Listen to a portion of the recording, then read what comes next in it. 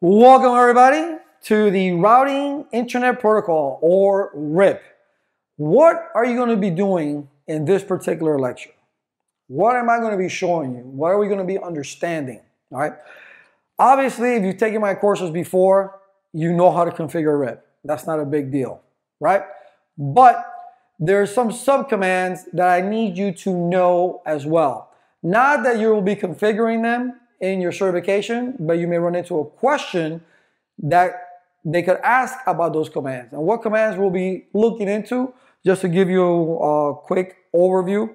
Uh, default originate or default information originate, the timers, um, what is indeed is the network command or the no auto summary command, version, all right, multi uh, path or maximum path, I should say, maximum path, so these are some commands that we're actually going to go explain and we're going to do a couple very quick labs so you can understand what happens uh, within uh, the RIP routing protocol if you configure these particular uh, commands and how would you go about to look for the issue and then how would you fix it. So this is what this course is about. It's to just give you just a little bit more detail in the RIP routing protocol as far as the subcommands particular subcommands, that not all of them, there's a lot, all right, not all of them, but just a few commonly used uh, subcommands that you'll find in the certification, whether it be the CCENT or the